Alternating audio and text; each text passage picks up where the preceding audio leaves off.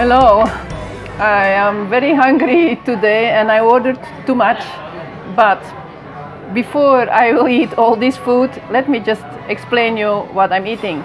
So I ordered here the kebab. This is kebab with pita.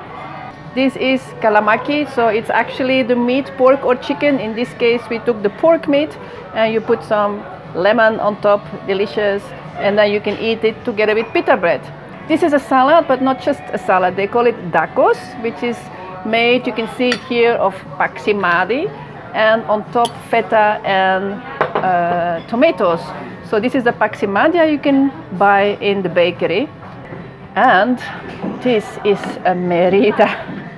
This is one portion. This is a big portion, a merida. So I don't know how I'm going to manage this, but it looks really tasty.